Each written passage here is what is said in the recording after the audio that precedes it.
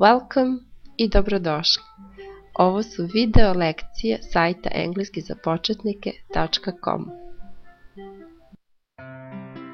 Okay, so let's start practicing this dialogue uh, and just try to use phrases for accepting and declining. Okay? Okay. So let's start. I will start first, okay?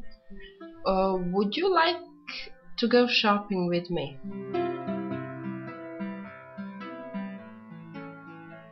I'm sorry, but I have to eat. Let's go to uh, Perasdera then. You can eat there. No, I'm sorry. but that sounds great. yes, let's do it. Okay, and um, shall we go by car? Hmm, I'm afraid I can't walk. I have pain in my right heel. Okay, can you change it and say something else? Like. okay, what else?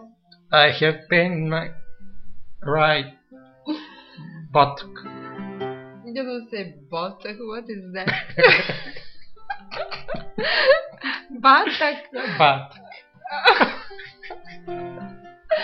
ne lupaj.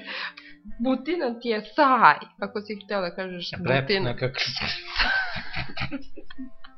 Saj, saj. I have pain in my right arm.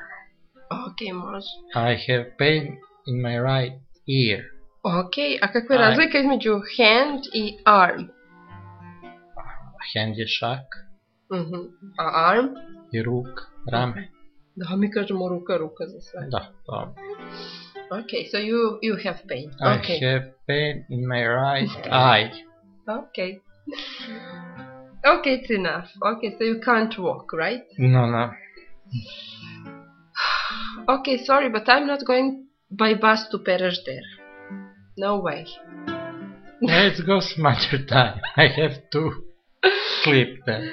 No, no, no. For instance, you have uh, something in your fridge.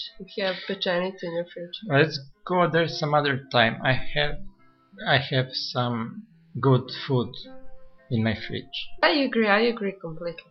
Okay, so uh, sh- shall we try once again, but use something else? This is going to be fun. I just want to show the students that they can use these dialogues Mhm. to change the story completely, Ah, okay. like we did with Perasder. Okay.